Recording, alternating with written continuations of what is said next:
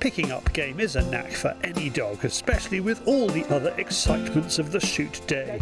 Top gun dog trainer Ricky Moloney shows how to help them along and pick up really big game. I'm going to send the dog up for the herd just up the field. I want to give him as much experience of carrying these big heavy objects and managing them well. That's the idea.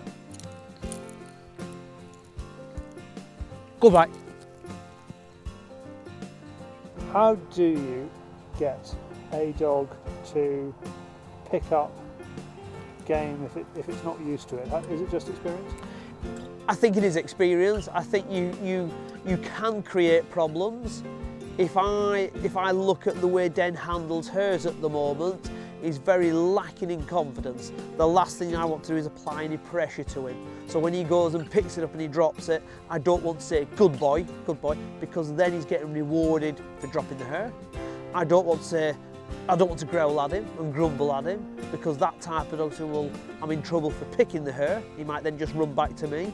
So what I've got to do is I've actually got to lead him, as painful as it might be for me watching, I've actually got to lead him learn how to handle a hare. There's no shortcut, I've just got to let him keep picking, picking, picking.